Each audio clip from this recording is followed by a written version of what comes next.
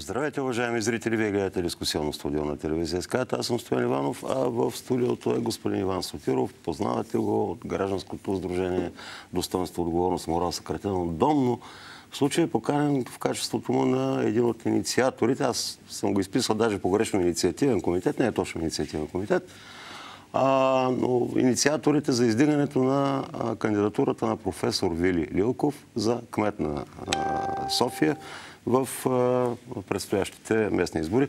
Здравейте, господин Сотиров. Хайде да не губим време, тъй като нямаме много време, имаме 20 на минутки. Първата вече изтече директно по темата. Кои сте вие? И всъщност кой? Кои? И защо издигат професор Вили Илков като кандидат за кмет на София? Първо да ми кажете вие кои сте, второ защо професор Вили Илков? Заради какви, по какви причини?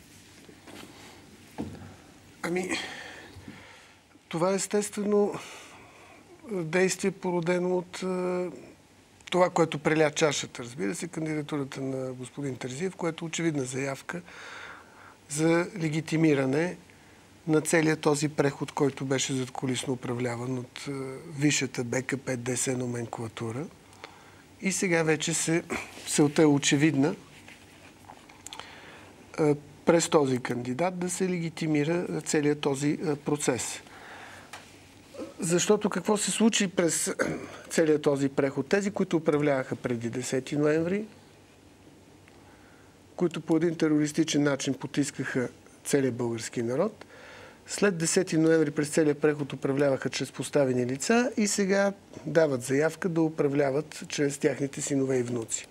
Тук говорим за едно династично възпроизводство на целият този модел на управление под различни форми на висшата БКП номенклатура и държавна сигурност.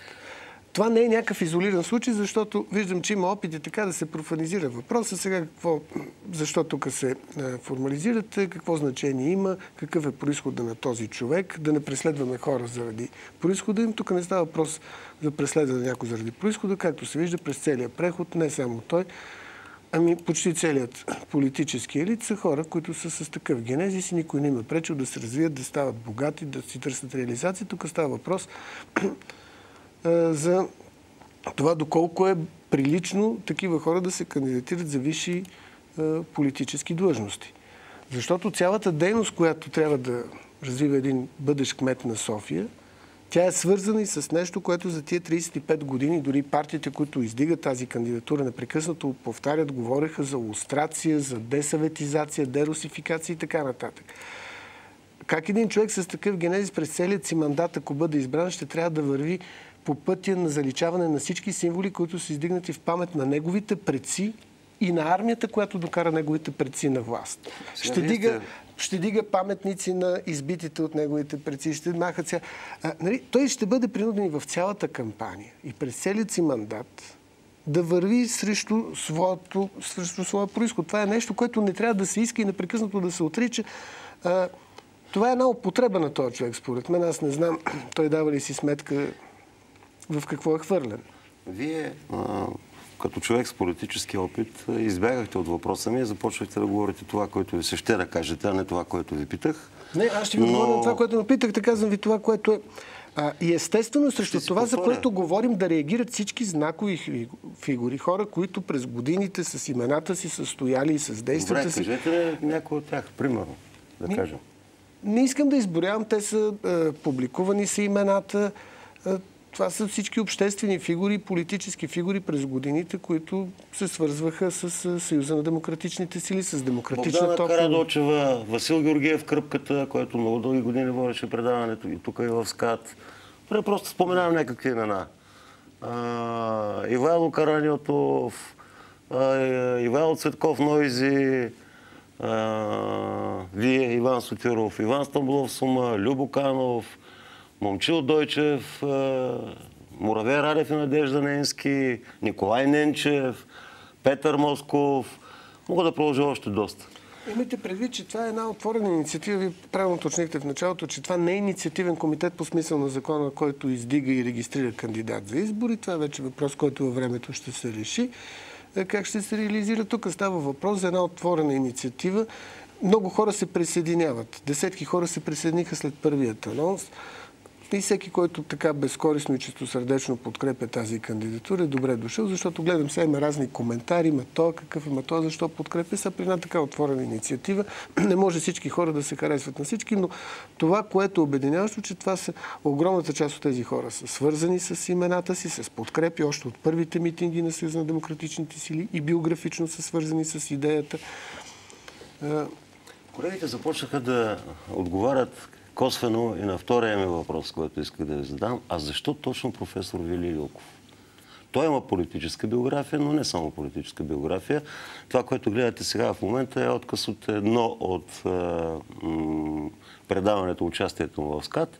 Конкретната тема е стопанските абсурди на българския комунизъм. Предната тема за книгата беше е, така, корицата показана друго. За за как... Говорили сме доста. Човек, който се е занимавал с тази проблематика, както с проблемите на столицата като общински съветник, а, и, и, и ги познава. Знам, защото е гостувал тук, включително в едно предаване, което вече го нямаме, но то беше посветено на проблемите на столицата и столична голяма община. А, така и с економическите проблеми, проблемите на прехода, проблемите свързани с цялата тази история, кървава и мътна българска през 20 век. Ами, много са качествата. Вие изборихте, освен, че той е... Ми подсказвам ви, защото вие нека се опитвате да бъдете, да не звучите прекалено настъпателно. Бъдете. Не, не, не да не бъда настъпателно, напротив, аз винаги съм бил настъпателен. Да, да, затова ме очудвате леко. Да. Дори сте потърпеш в това студио от моята настъпателност. Е, нищо, аз ви режа понякога. Да. Така, добре, но за Вили Лилков. Така, е, сега, Вили Лилков, освен чисто биографично, не че той е свързан с тази тема, която е важна за общността. Той е част от общността, което е много важно. Той има огромна е, и политически, и обществен опит, което аз винаги съм твърдял, че за политическа длъжност, както е в цял свят, не може да искаш да вземеш обществена длъжност, каквато е политическа, каквато е дали да бъдеш кмет, министър и така нататък, ако ти нямаш богат обществен и политически опит. Това е принцип в развитите демокрации. Един политик, една обществена фигура се развива. Дори да имаш талант, защото и в политиката, като всяка дейност, иска да имаш талант, да имаш така да, желанието, потребността да си политическо животно, както се казва в добрия смисъл на думата, опита е изключително важен като във всяка дейност, за да можеш да развиеш таланта си. И най-важното е да, те, да бъдеш проверен във времето, да се види, че ти имаш това, което само модерно да му казват интегритет, да имаш почтеност, последователност в действията си, за да може, както казва Светото писание, да оцениш един човек по делата му. Защото аз познавам много интелигентни хора, реализирани, обаче в политиката са били пълен провал, защото там се иска комплексно да си цялостен човек, да си и морално, и политически. Видите, господин Лилков в годините, не случайно така, е, го подкрепи доста широк крок хора. Някои от тях дори мислих, че ще имат скруполи поради свързано с една или друга партия и така нататък. Аз дори съм приятно изненадан, че много хора, които при друга ситуация, може би тук влияе шока с тази кандидатура, защото това е провокация към цялата общност. Това е, е и шокова терапия за собствените избиратели на ППДБ което показва и тяхната липса на адекватна оценка за чувствата, за усещанията на хората, които през годините са ги подкрепили. И, и това е може би обяснимо поради това, че те имат аналогичен биографичен проблем. Верно, не са от генералски семейства чак, но като погледнете там целият елит, това са предимно хора, които имат този происходов проблем. Да, происхода не е достатъчно условие, но необходимо условие – происходът има значение. Комунистите, понеже съзнаха, че происходът има значение, затова положиха всички усилия по тяхния перверзен начин да унищожат целият национален елит до трето поколение, за да може днес, и тук става просто точно за тази несправедливост, 80 години те са абонирани, независимо как се променят нещата, те, тяхните синове, дъщери, внуци да бъдат от висшата каста, която е посветена да управлява и всички други трябва да бъдат БЦ категория, включително и по-висшите кадри тяхни. Не е ли основният проблем, даже не е, не е происхода, защото някой веднага ще ви репликира, всъщност аз го правя, да. че господин Васил Тързиев не може да отговаря за това, което е правил единия му дядо, другия му, т.е. брата на дядо му, чичо му, т.е. сина на брата на дядо му, и баща му, и още 5-6 души от родата. Както Горкия не е виновен, че е започнал бизнеса си в 3 години е бил там в една яко свързана с ДС фирма, занимаваща се с специални технологии, специална техника, военни, която разбира се има връзки в тази област, която се е развила после фирма Телерик, но той не е виновен за това. А, не е той не е виновен, но вижте, происход... Не е ли проблема някъде, не е ли проблема някъде друга? Прекрасен Помните... кандидат на БСП, дори бивши председател на БСП, каза, че той е бил резервен вариант. А, Забелязахте ли първите му изказвания? Този човек като че ли а, не беше наясно точно за какво се кандидатира. Не, той Бяха толкова не, текаеме изказванията му, толкова не свързани с а, реалната, а, как да кажа, реалните проблеми а, на София като столичен, столичен град и като най-голям град в България и с реалните политики, че мене отначало ми стана мъчно. После, честно казано, обаче се възмутих, когато ми обясни, че ако повдигаме въпроси, всъщност той какво смята да прави и до каква степен неговия происход е предопределил начина му на мислене, а ние му отнемаме, забележете, бъдещето. Тогава се вбесих. Ами точно това, това си е тази арогантност на висшата каста, които смятат. Как му отнемаме бъдещето? Он супер реализиран човек. Има... Чакайте момент, вие спряхте ли го да учи? Взехте ли му жилището на центъра на София? Не, не, това е казано. Го казахме. Сега, първо, да, той може бизнеса да е сбъднал американската мечта, въпреки че малко хора в България, като познат корупционната среда и как се прави бизнес, ще повярват, но да речеме, че той е някакво изключение, което е сбъднал американската мечта да стане милионер в България и Хубаво, така нататък. Но Какво? тук е проблем, че едно изключение, приема, че това е едно прекрасно изключение, се използва за да бъде изпрано и легитимирано правилото, че целият олигархичен модел, всички олигарси в България, аз в 40-то Народно събрание, комунистите, понеже те непрекъснато атакуваха СДС, какво направихте, приватизацията, собствеността. Пита ги, кажете ми един едър бизнесмен, от които и да е среди, който да не е от БКП, ДСД, КМС происход. Тук не става въпрос някой да бъде дискриминиран. Напротив, въпросът е, че едно правило те така си направиха прехода, че да са само те. И то за какъв смисъл имаше от 10 ноември, след като те са били най-способните, най-талантливите до трето Добре, коляно, до четвърто? Тогава разликата в друга посока. не знаем още какъв ще бъде кандидата на... на носите слухове за кандидат на БСП. Не е сигурно, обаче не е издигнат. Не знаем а, какъв ще бъде кандидат на ГЕРБ. Не е издигнат и не знаем даже дали ще бъде издигнат, макар че логически следва, следва най-голямата партия да се издигне кандидат. Е, те не са най-голямата в София. Не, София не са, но все пак страната са. И да. все още управляват София, нали така? Не, те, и в крайна сметка не може да не участваш в този бой, защото издигането на една кандидатура е и защита на това, което ти си управлявал този град в, то, в близо две десетилети. И, и ти трябва, не можеш да избягаш да кажеш, ние се скриеме зад някакъв друг кандидат. За... Но ето, Те трябва да си дадат Но ето, вече имаме кандидат. Да. Един.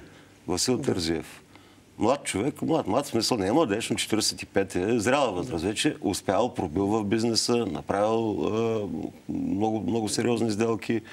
А, той е човек, който има бизнес опит. Вие издигате от среща професор, когато ви кажат, добре, ама как този професор, който е по-възрастен, нали, професор Вили Елков, при цялото ми уважение към него, ще се състезава на полето на развитието на София в този млад човек с, както се вижда, успешни идеи за развитие, какво бихте отговорили? Всъщност, аз ви го задавам директно този въпрос. Значи, визията за модернизация на града, за развитие, тя не е, е проблем на генерационен някакво. Още повече, че независимо, че господин Тързиев работи в IT сектора, той не е от IT специалистите, той е човек бизнеса, той управлява финансовите ресурси, той не е човек, който разработва софтуер и така нататък, той просто инвестира Еми, то това е важно. Това, това е менеджерско качество. Това е менеджерско Кмета качество, на София също няма да... Управлението на бизнес, понеже аз съм управлявал и бизнес, е, структури, стопански предприятия и то големи холдинги и така нататък. Управлявал съм и обществени структури. Доста са различни нещата не можеш да използваш опитът от едното а, автоматично за другото. Значи имаш една книга, принципа на Питър, за това как всеки се стреми да стигне нивото на некомпетентност. Може да стигнеш до нивото на некомпетентност и по вертикала, и ако те прехвърлят от една сфера в друга. То си личи неговият подход. Значи, за да си кмет, а, вие сте бил общинар. Знаете mm-hmm. какво? Ти трябва да можеш да имаш огромна а, търпение, а, издръжливо, за да можеш да изслушваш всякакви хора, да ги разбираш, да имаш емпатия. Виждаме той как реагира при първата така критики, той веднага е, започва да напада. Ти трябва да си... Е, при Вили Лилков, нали, поне сме работили в годините, той има изключително качество това по всяко време да може да му звъннеш, да съдейства, да се опита, да помогне, да реши проблема. Е, София е огромен проблем. Аз се занимавам от началото от първите години с столична община. Бил съм и в общината, бил съм два пъти в комисия местно самоуправление регионална политика. Винаги съм следил проблемите. и като обществена фигура. Да. И така нататък. От всеки ъгъл и от законодателна гледна точка. И, от... и въпреки това имам претенциите, че има бели петна и че не мога по всеки въпрос да бъда. Това, това е огромен организъм. Не може да се обучаваш. Дори самия принцип. Тук сме говорили многократно. Това е модела на действие на олигархията. Хващат един човек, за ушите, който може да изглежда много симпатично, да праци някакъв маркетинг от тяхните среди и могат с огромният си финансов и медиен ресурс този човек да го направят национален герой. Но след това лъсват нещата. Това не ни е за пръв път.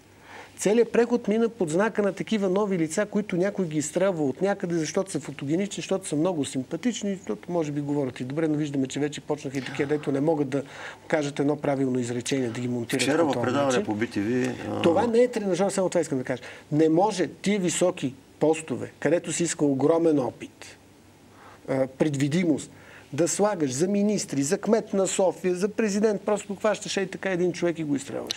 Вчера в предаване по BTV професор Вили Илков каза, че София, разбира се, е много променена през последните, даже не само управлението на ГЕРБ, е по-назад малко се върна, 20-20 няколко години. Много е променена и това е факт само хора, които... А обаче, тя все още изглежда по-скоро като град от 20 век, от края на 20 век, да го кажат. От хубавия период, когато така, София Отколкото като град от 21 век и тук трябва да се пречупи самата, самата визия. Имаме две минутки, да, даже минутки и половина до края. Наясно ли сте какво има предвид той под, под това?